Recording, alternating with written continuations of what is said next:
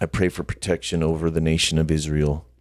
And I pray that you give them supernatural power, glory, and strength to defend and, and defeat the enemies that are coming against them who would love to see them annihilated, Father God. They're not a perfect nation by any means. They're not a bunch of angels. That's not what I'm here to say. You know what I mean? I'm not here to just say, oh, the Jews are just get a free pass because they don't. And the Bible talks about that. And so I find it corny for people who, up till recently, people that have never talked about Jews or Palestinians. I'm not saying one or the other. I'm saying I think I find it ironic that in the city that I live in, I'm seeing Palestinian flags flying around.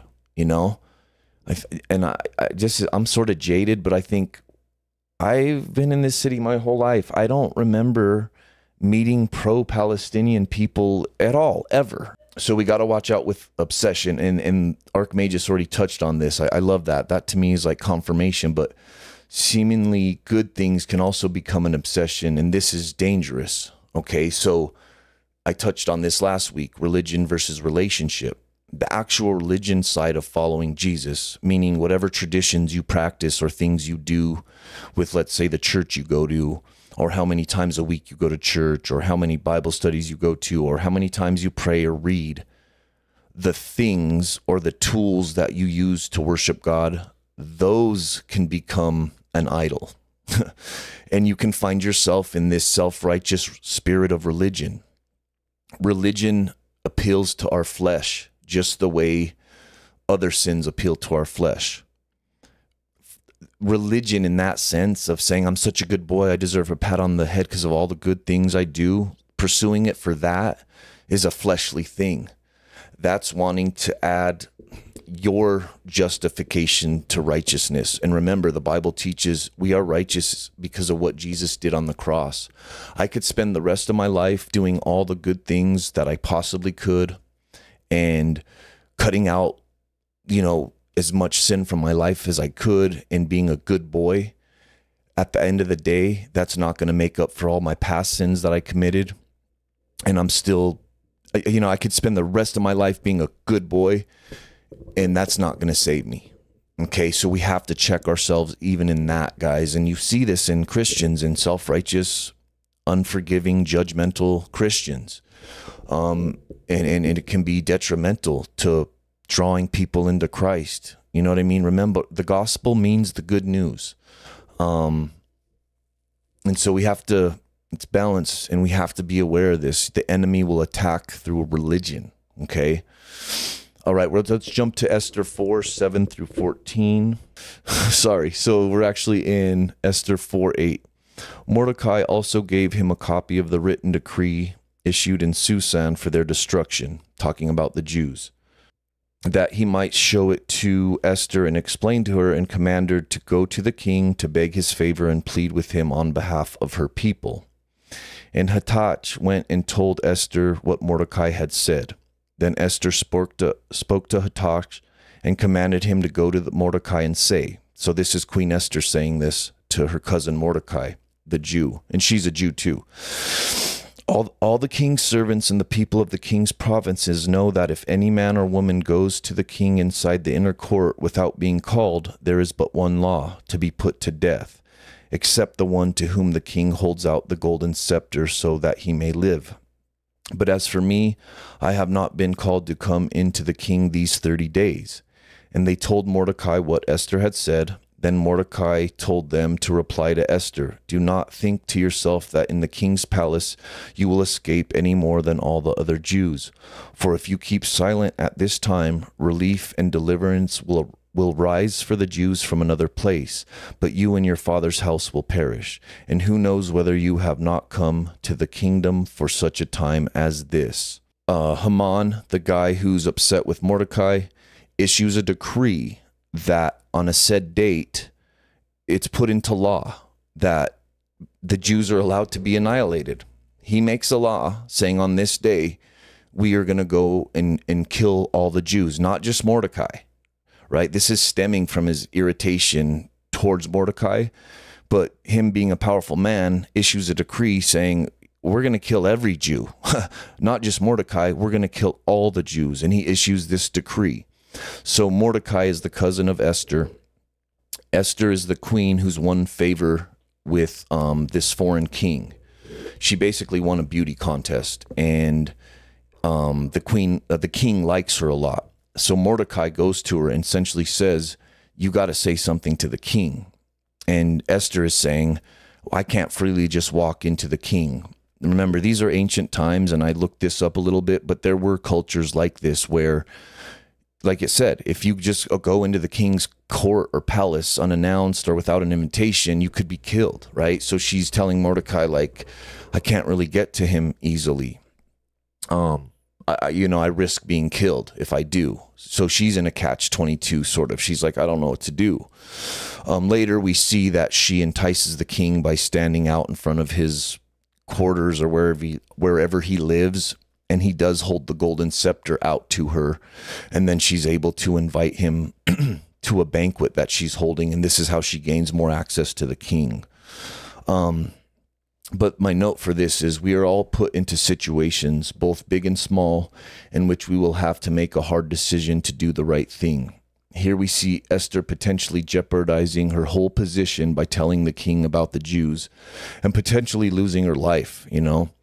Um, Mordecai refusing to bow down to Haman led to Mordecai persecuting not only Mordecai, but the entire Jewish people. Um, this really struck me, you know, and I thought, wow, Lord, like, A, thank you, Lord, that I'm not in a position where literally my life is currently hanging in the balance uh, for following you. Um, you know what I mean? Like, like the way things are going, you know what I mean? Who knows if one day we'll be persecuted like this again? But for the time being, I'm like, like, even if I stand up for you now, Lord, like, I'm not really in jeopardy of just flat out death, you know? Um, but there's a million other situations in my life where I find myself sitting there confused or not confused, but I'm at a crossroads and I know what the Lord wants me to do. I know what the Bible wants me to do. Um, and I know what my f- flesh and my sin want to do. Oftentimes, my flesh and my sin want to choose the path of least resistance. And God's ways oftentimes are, are saying, I don't want you to choose the path of re- least resistance. So I highlighted this because I want us all to sit and think for a moment, just like, where in my life do I need to make a stand for God?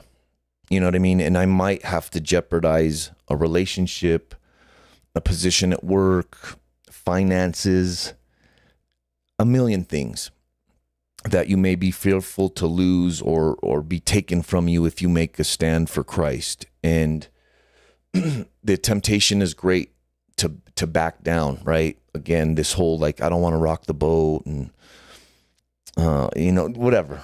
All these excuses that we may not like stand up for Christ or or choose the right thing. And so I, am just asking you, you know, as we go through the Bible study and after the Bible study, think about this in your life. Is the Lord calling you, you know, to some situation or circumstance where you're like, I know what God wants me to do in this, and I'm afraid it's okay. It's totally natural and normal. And I'm here to tell you do the right thing. As we see in this story, it, it, it pays off. Um, and it, it, works out for God's glory, and, and the Jewish people are delivered, you know, in this very elevated, dramatic situation. But we can find ourselves in equally um, stressful situations for us, you know, where we're at in our life and what's going on in our family or at work or with our friends, where we're like, oh man, this this decision I might lose a friend or this decision might not make me popular with the boss or whatever. But again, I'm here to encourage and tell everybody your first and number one boss is is Jesus, God, the Lord. And if you honor him, he will honor you. He was he's always faithful to deliver, you know, and that's part of the message of this Bible study. When we seek God, when we follow God, when we give our life to God, when we make the hard decisions for God, He is going to turn our situations around for good and for His glory. And I don't know the timing on that. Sometimes it's not overnight, sometimes it's not in a week, Sometimes it's not in a month. Sometimes it's not in a year.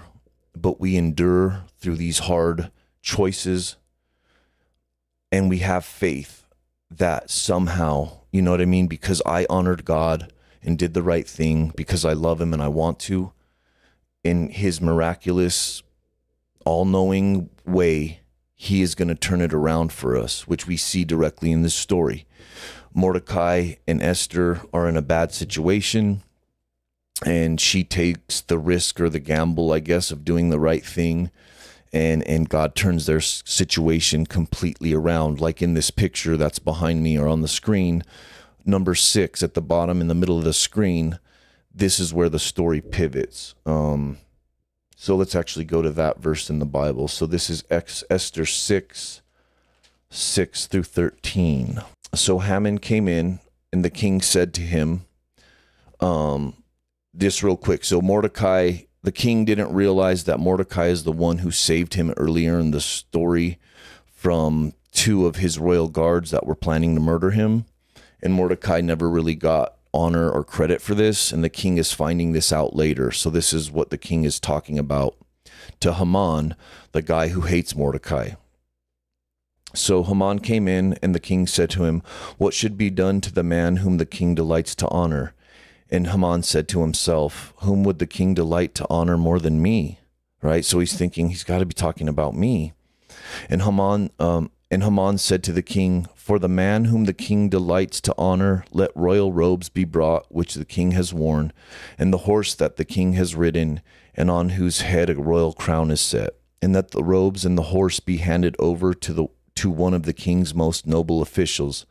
Let them dress the man whom the king delights to honor, and let them lead him on the horse through the square of the city, proclaiming before him, Thus shall it be done to the man whom the king delights to honor. Then the king said to Haman, Hurry, take the robes and the horse, as you have said, and do so to Mordecai the Jew who sits at the king's gate. Leave out nothing that you have mentioned. A burn. So Haman took the robes and the horses and dressed Mordecai and led him through the square of the city, proclaiming before him, Thus shall it be done to the man whom the king delights to honor. Then Mordecai returned to the king's gate, but Haman hurried to his house, mourning and with his head covered. And Haman told his wife Zeresh and all his friends everything that had happened to him. Then his wise men and his wife Zeresh said to him, If Mordecai, before whom you have begun to fall is of the Jewish people, you will not overcome him, but will surely fall before him. While they were yet talking with him, the king's eunuchs arrived and hurried to bring Haman to the feast uh, that Esther had prepared. But burn. So here Haman thinks he's going to get honored and exalted. I love it. And the way this is written is so awesome and then he's the king says so what should we do for this guy? And he he has the plan. He's he's thinking this will be done for him right? That that he'll be dressed in royal robes and that he'll sit on the king's horse and he'll be paraded through the city as a great man. And the king says awesome. Do it to essentially his arch enemy the guy he hates and is persecuting right? Um this is where our faith can come in that this is what i I feel like the Holy Spirit spoke to me this week in my personal studying. If I'm faithful to God and I work on my relationship with Christ and I work on cutting out sin from my life and I work on doing the right things with my time and my energy, no matter how hard it may be in the present, God is going to turn my situation around and He's going to turn your situation around. And again, there's no deadline on this. I, I wish I could say, you know, do the right thing right now, and tomorrow you're going to wake up and it's all going to be changed. It's a process. That could happen. Something could turn around quick. You know, in the scheme of this story, this all happened seemingly pretty quick. Um, but for others of us, this might be a long weeks, months, years process before we see our turnaround, before we see the story pivot and it's going to require us seeking the Lord um, day in and day out, despite our feelings, um, despite our doubts, despite our fears. As we give to God, He's going to give to us. That's just how our God works. He's a good God. He has promises. Um, he has conditional promises in the Bible. If you follow me, things will go well for you. Boom. Straight up. And some of us have, may have dug ourselves into holes. Me. Okay. Big or small. Some of us might be going through a small trial. Some of us might be going through the trial of the lifetime and anything in between. But I'm here to tell you as you seek God and stay faithful to Him, the Almighty God of this universe is going to turn your situation around. And we can rest in that. On the dark days, the hard days, we can rest in that, knowing that God knows everything that's going on in this situation. You know what I mean? If I'm faithful to Him, He's going to be faithful to me.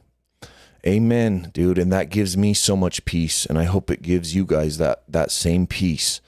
You know, that's from the word of God, and we can stand on that. And Mordecai and Esther's story is an example of this.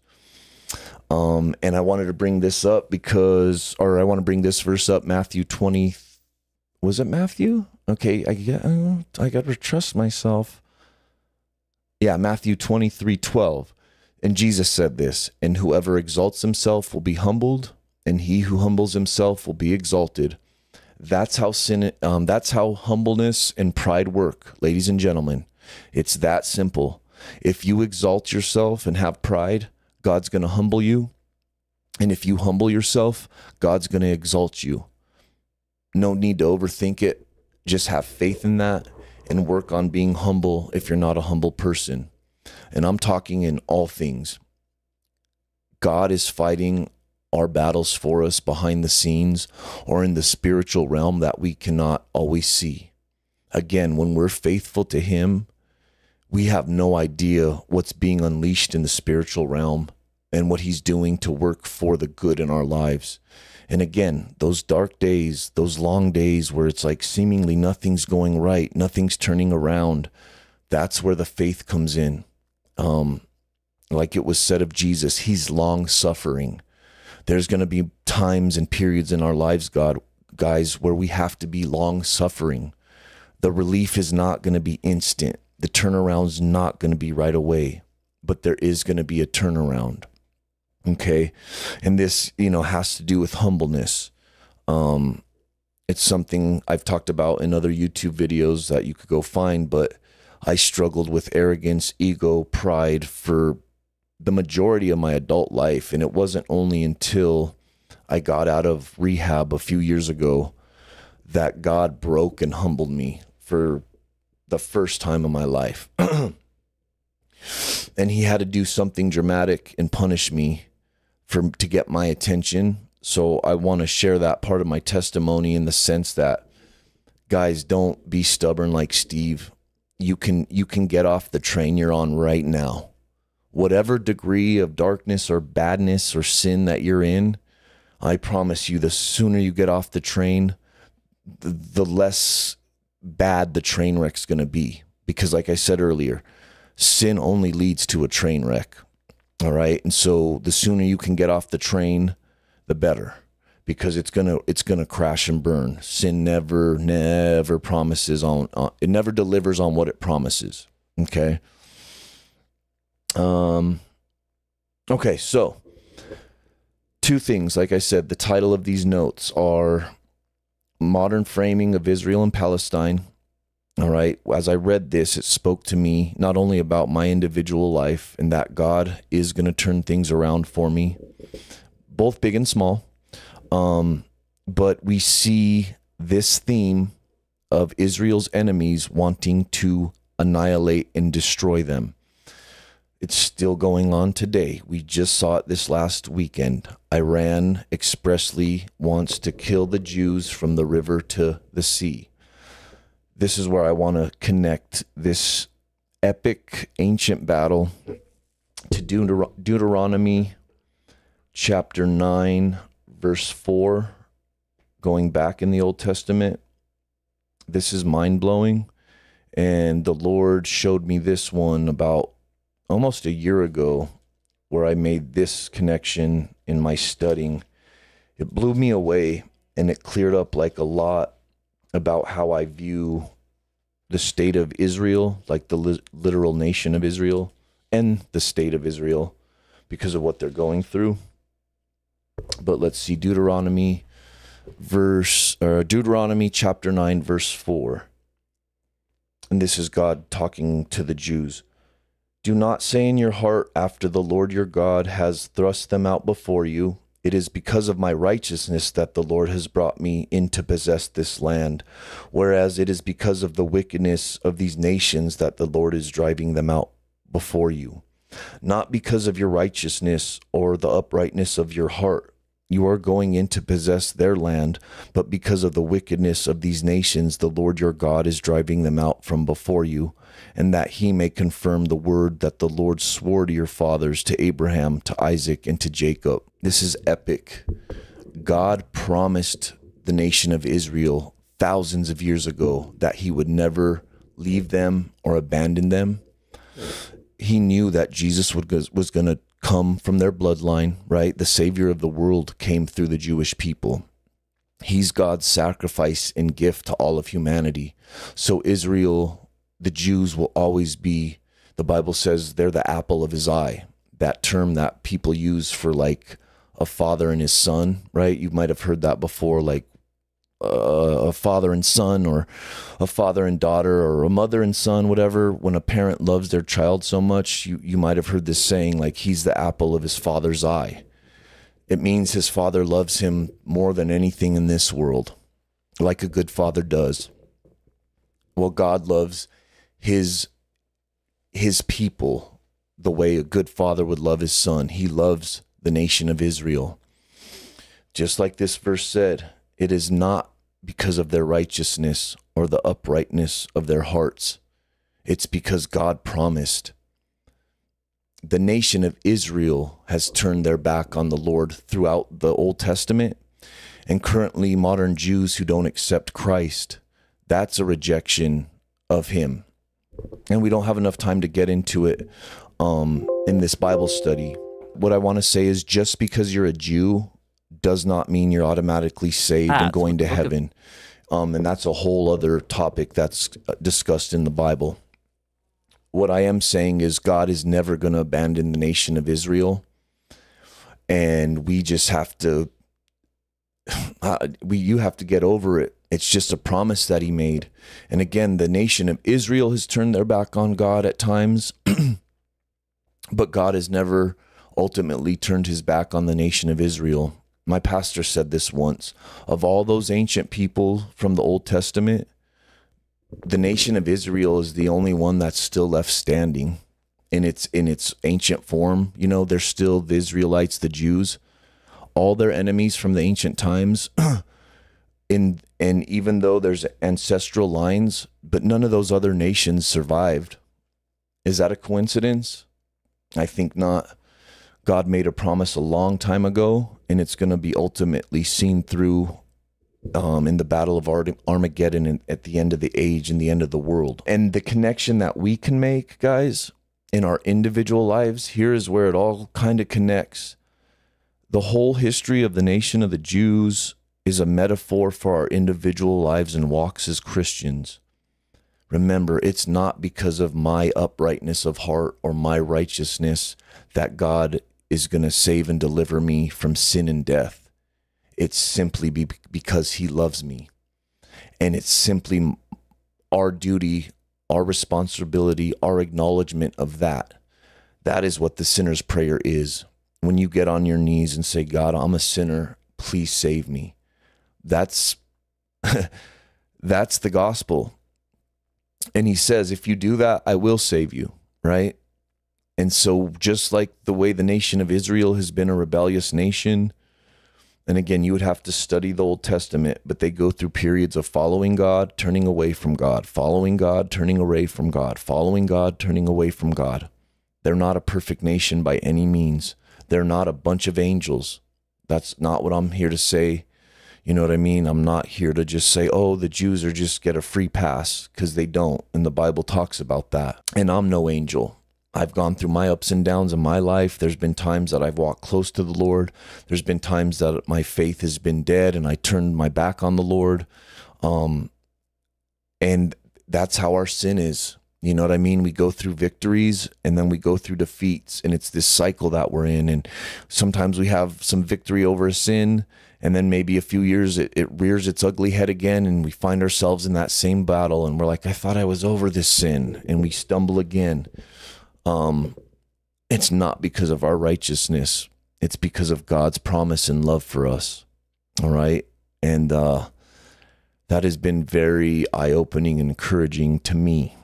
Um, I just want to bring up a few facts about the Jews and the Palestinians, but archaeologic and genetic data support that both Jews and Palestinians came from the ancient Canaanites, who extensively mixed with Egyptian, Mesopotamian, and Anatolian peoples in ancient times. Thus, Palestinian Jewish rivalry is based in cultural and religious, but not in genetic differences. Interesting and that corroborates the Bible. All right. Again, if you study the Old Testament, um, th- this statement here by um, some historical scholar that's shown to be true in the Bible. You know what I mean? So you can really look at this as this is an ancient rivalry that's been going on a long, long time. And so I find it corny for people who, up till recently, people that have never talked about Jews or Palestinians. I'm not saying one or the other. I'm saying I think I find it ironic that in the city that I live in, I'm seeing Palestinian flags flying around. You know, I, and I, I just I'm sort of jaded, but I think I've been in this city my whole life. I don't remember meeting pro Palestinian people at all, ever. Do you know what I mean? It's not like throughout my life, I'm like, oh, yeah, I remember John. He was really pro Palestinian. Unless maybe I ever met a Palestinian, then you could just assume, well, yeah, he's a Palestinian. Of course he loves Palestinians. Same, I, I, I could say the same with the Jewish side. Like if you see the Star of David or their flag, I'm like, suddenly everyone loves the Jews. This, this is the enemy's partly using this as another way to divide us for sure. Um, I want it to be known like I don't want the Palestinians to all be murdered and killed. Um, I don't think every Palestinian is pro Hamas um, and, and, thinks the way Hamas thinks. You know, um, I don't want terrorists to go into Israel and kill babies, right? I don't want that bloodshed either. Like just said at the top of the thing, like I'm not for war. I don't want to see all this happening. But unfortunately, like in my spirit, like I know it is. Um, I know it is gonna happen. And the Bible prophesies that it's gonna happen, you know. Um, so uh, the Palestinians uh, come from the ancient Canaanites, okay? Both Jews and Palestinians at some point. Like they have a very long and complex bloodline. But like in a general sense, they came from the Canaanites. And what the Canaanites represent, um, these are people of the land and the ones that it will require God's strength to conquer. This is speaking of them in the ancient times. During the Exodus and the wilderness period, this is speaking of when the Jews came out of Egypt, they also the Canaanites also serve as a threat to the re- religious purity of the Israelites. Their polytheism and godless living held out a temptation um, to the devotion to the God of Israel. Okay. The Bible characterized the Canaanites as idolatrous and immoral because they practiced polytheism, the worship of multiple gods. The Canaanite religion featured worship of the su- supreme deity El and his partner Asherah. All right. And this is even talked about in the Bible how the Jews would turn their back on the one true God and they would set up a Asherah poles and worship pagan gods. Okay. And needless to say, um, God hates that. Um, almost done. A few other points I want to make. I know this is a long one, but I think it, it it's very near and dear to me because the Lord has like revealed this stuff to me through my prayer and individual Bible study, he's revealed things to me and he's given me answers on stuff, you know, and I'm so I'm so grateful for that. Um but I kind of skipped around. But I want to connect real quick back to this idea of us sinners, us Christians who are sinners and struggle with our sin. This verse gives me a lot of comfort. Um, we're going to Luke 18 9. And this is Jesus, or yeah, this is Jesus. So he also told this parable to some who trusted in themselves that they were righteous and treated others with contempt. Two men went up into the temple to pray, one a Pharisee and the other a tax collector. The Pharisee, standing by himself, prayed thus God, I thank you that I am not like other men, extortioners, unjust adulterers, or even like this tax collector. I fast twice a week. I give tithes of all that I get. But the tax collector, standing far off, would not even lift up his eyes to heaven, but beat his breast, saying, God, be merciful to me, a sinner. I tell you, this man went down to his house justified rather than the other.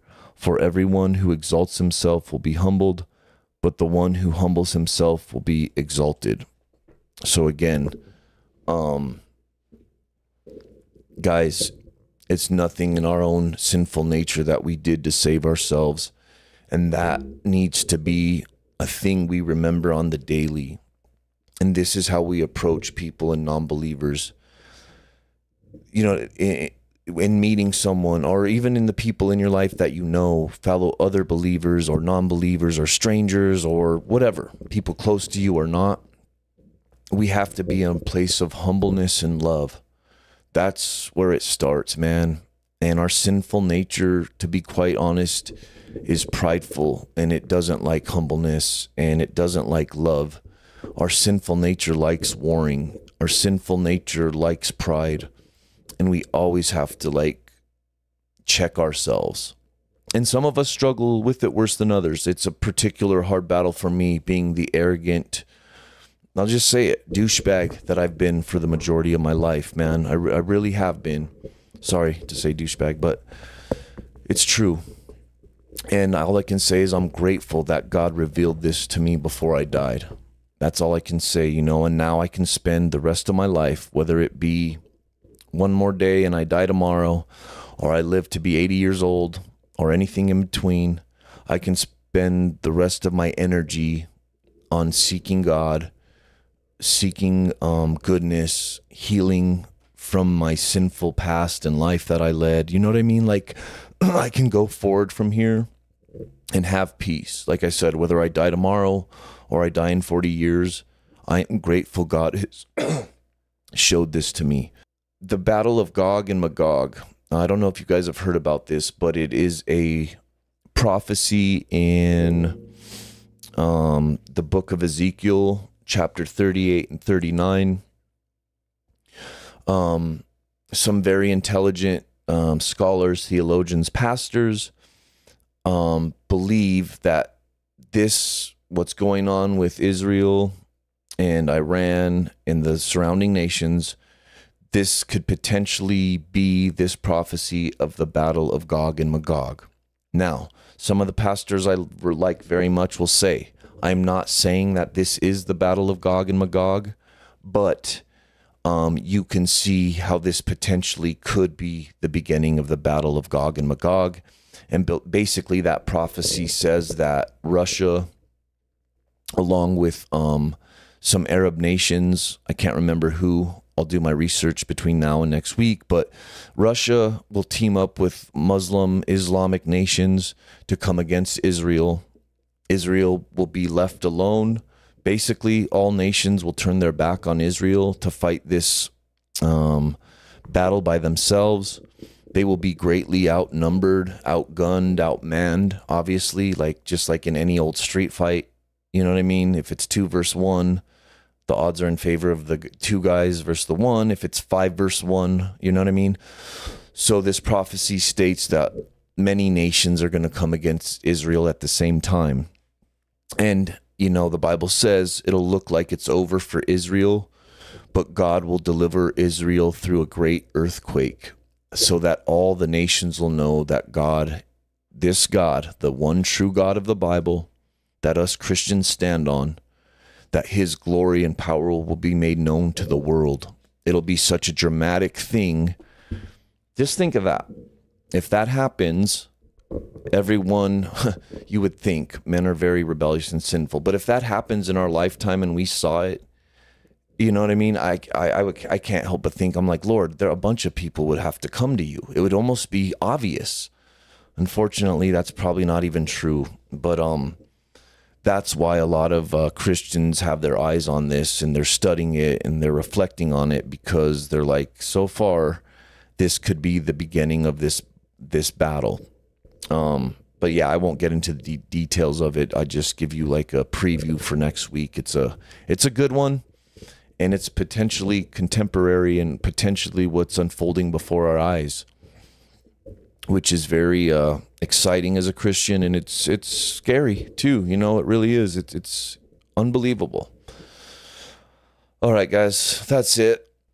Father God, thank you so much for this night, and um, thank you for Archmagus, and thank you for anybody else who may have been watching this but just not commenting. Lord, I pray that you would minister to them I pray that they would reflect on what's been talked about in this Bible study. And I pray that you would continue to reveal yourself and the truth to them in their own individual lives and walks. Um, I thank you for this night, Lord. And I want to pray for the nation of Israel um, and, and just the world in general, Lord. I see a lot of conflict and pain and insecurity going on, Father God. And ultimately, I do pray for peace in Israel, God, and I pray that you deliver your people. And I pray that Jews who don't believe in you, Lord, I pray that their eyes would be opened, their ears would be opened, their hearts would be opened, and they would come to the true saving knowledge of Jesus Christ, God. They're your original physical people that you love, Lord. And I pray that you save a lot of them. I pray that through all these crazy circumstances, they see you, Lord Jesus, as the one true God, the one to seek, the one to follow, the Messiah, the Savior, all of it, all your promises that are true. I pray that your Jewish people would see that, Father God. I pray for protection over the nation of Israel. And I pray that you give them supernatural power, glory, and strength to defend and, and defeat the enemies that are coming against them who would love to see them annihilated, Father God. Thank you for this night. In Jesus' name we pray. Amen.